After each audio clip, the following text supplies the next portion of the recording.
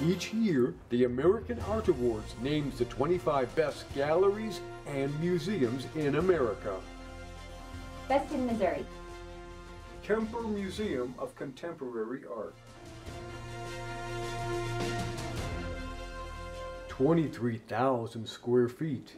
For 26 years, Kansas City's acclaimed free contemporary art museum has offered an exemplary permanent collection of modern and contemporary works from around the world.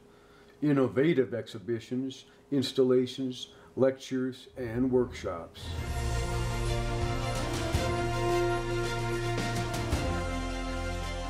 Two thousand twenty's Best Gallery or Museum in Missouri, Kemper Museum of Contemporary Art.